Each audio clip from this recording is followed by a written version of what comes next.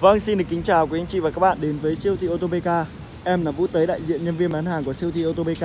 Có địa chỉ tại số 17 đường Phạm Hùng đối diện bến xe Mỹ Đình, quận Nam Từ Liêm, thành phố Hà Nội. Số điện thoại hotline của em là 0977 500 055.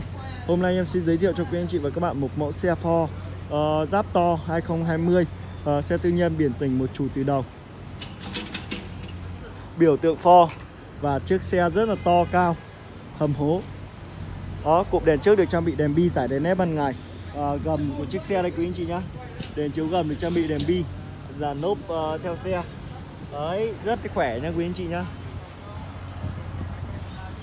Xe tư nhiên biển chủ màu ghi xe chạy một vạn ba. La răng ốp uh, biểu tượng Ford và la răng được uh, thiết kế um, đúc rất là đẹp nha quý anh chị nhá. Lốp này lốp của chiếc xe này. La răng được thiết kế 17 inch. Đây quý anh chị nhá. Chìa khóa của giáp to đây ạ. Vâng. Ô bậc lên xuống. Nội thất của chiếc xe.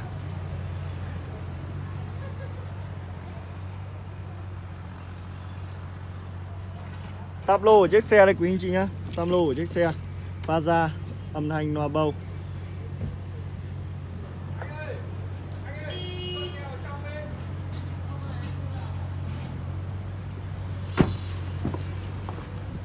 hàng ghế sau của chiếc xe đây quý anh chị nhá. Chiếc xe về đến cửa hàng. Nó còn rất là mới. Xe chạy được mùa vạn ba tư nhân. Trang bị rất là nhiều uh, tính năng.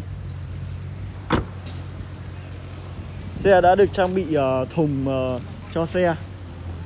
Đây đằng sau đuôi xe của quý anh chị. Chiếc xe kéo tải rất là khỏe. Camera lùi cả biến sau.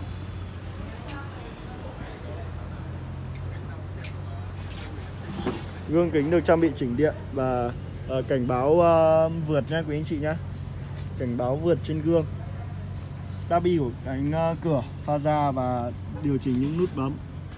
Đây ghế chỉnh điện. Ngoài ra thì uh, chiếc xe được trang bị uh, ga tự động nãy chuyển số thể thao giữ làn đường. Cổng 12V và các chế độ gài cầu.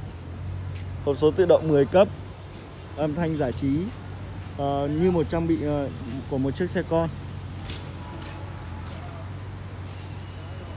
Chiếc xe em đang hỗ trợ trả góp lên đến 70% à, ờ, Quý anh chị chỉ cần chuẩn bị cho em 420 triệu có thể mang chiếc xe về với gia đình của mình.